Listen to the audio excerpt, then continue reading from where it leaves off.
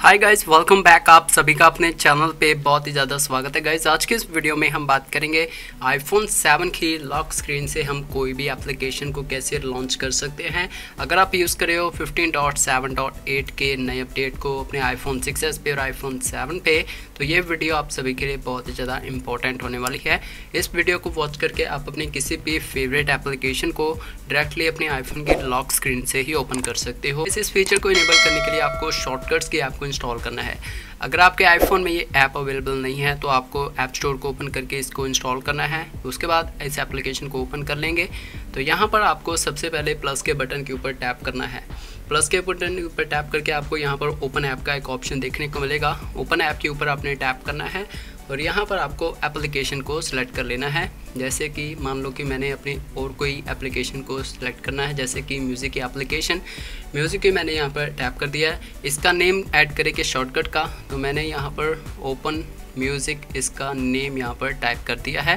अब आपको डन के ऊपर टैप करना है और यहाँ पर ओके करके इसको अपने क्रॉस के ऊपर टैप कर देना है और आपका ये शॉर्टकट यहाँ पर रेडी हो चुका है तो इसके साथ आप और भी कई शॉर्टकट्स यहाँ पर क्रिएट कर सकते हो, जैसे कि ओपन म्यूज़िक ओपन इंस्टा और और कोई एप्लीकेशन ओपन कैमरा और यहाँ पर और भी बहुत सी एप्लीकेशन के शॉर्टकट्स मैंने ऑलरेडी क्रिएट कर रखे हैं।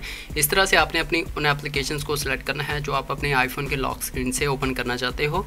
उसके बाद आपको सेटिंग्स को ओपन करना है सेसिबिलिटीज़ के ऊपर टैप करना है टच में जाएँगे, और यहाँ पर आपको सेसिव टच के ऊपर टैप करना है सिंगल टैप के ऊपर टैप करेंगे और यहाँ पर आपको अपने शॉर्टकट को सिलेक्ट करना है, जो आपने नेम एंटर किया है ओपन म्यूज़िक उसके बाद आपको बैक बटन के ऊपर टैप करना है और यहाँ पर डबल टैप के ऊपर टैप करना है और यहाँ पर आपको अपनी दूसरी एप्लीकेशन को सिलेक्ट कर लेना है, जैसे कि ओपन इंस्टा तो यहाँ पर आपको लॉन्ग प्रेस के ऊपर टैप करना है और यहाँ पर आपको अपनी थर्ड एप्लीकेशन को सिलेक्ट करना है, जैसे कि ओपन कैमरा तो मैंने यहाँ पर ओपन कैमरा को सिलेक्ट कर लिया है।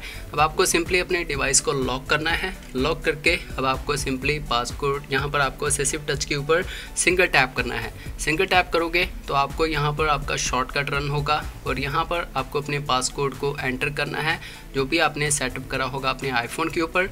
उसके बाद डायरेक्टली आप लॉन्च कर सकते हो अपनी किसी भी एप्लीकेशन को कुछ इस तरह से। यहाँ पर आप देख सकते हो मैंने यहाँ पर सिंपली डबल टैप करना है और मेरी जो इंस्टाग्राम की एप्लीकेशन है वो यहाँ पर ओपन हो जाती है। और यहाँ पर जब मैं लॉन्ग प्रेस करता हूँ रिसेसिव टच के ऊपर तो मेरे यहाँ पर कैमरा की एप्लीकेशन ओपन हो जाती है।